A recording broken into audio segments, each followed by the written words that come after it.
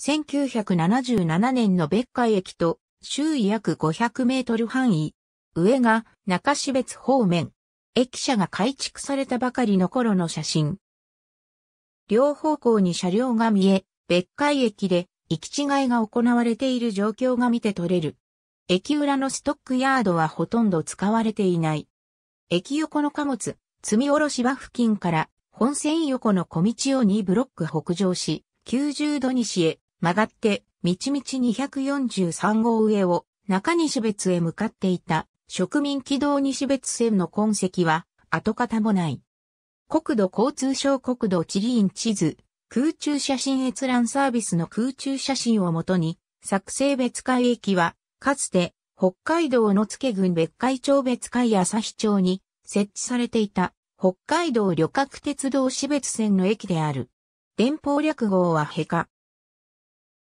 市別線の廃線に伴い、1989年4月30日に廃駅となった。町名より、本来は同町海岸沿いの本別海地区のアイヌ語名である。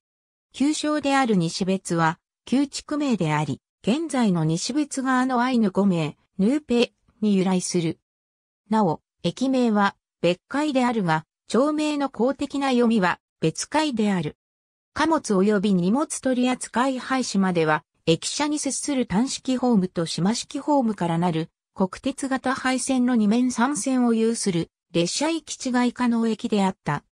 このうち、島式ホームの外側の線は副本線として、主に貨物の止め置き、あるいは構内東側からの貨物の積み下ろし用に使用された。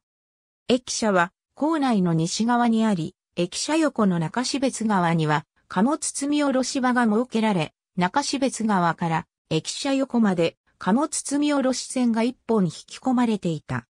このため、駅舎前のホームは厚床より、島式ホームは中標別よりにずれて置かれ、駅舎側ホームの駅舎正面から島式ホームの厚床側端へ線路を横切る形で連絡通路があった。貨物及び荷物取扱廃止後は副本線と貨物積み下ろし線が撤去され、廃駅となるまで相対式ホーム2面に線を有する列車行き違い可能駅であった。